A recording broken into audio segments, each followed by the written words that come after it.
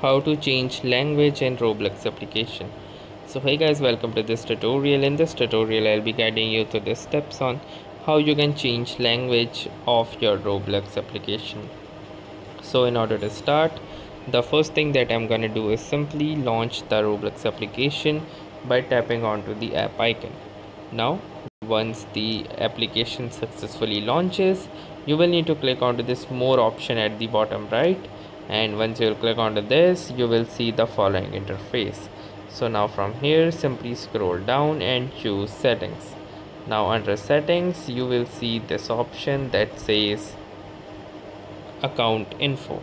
So simply click onto account info and just wait for this page to get load. Now under account info scroll down and you will see language now from here click onto this drop down arrow and choose any language that you want. So you can choose any language. So as you can see currently it is set to English and I'm gonna choose the English United Kingdom. So once you have done this you will see it might say unsupported language. So this can be occurring if you are using your mobile device. So for some of the experience may use the selected language. It is not fully supported by roblox.com so you can click onto this ok lang option and once it will reload it will have the following language.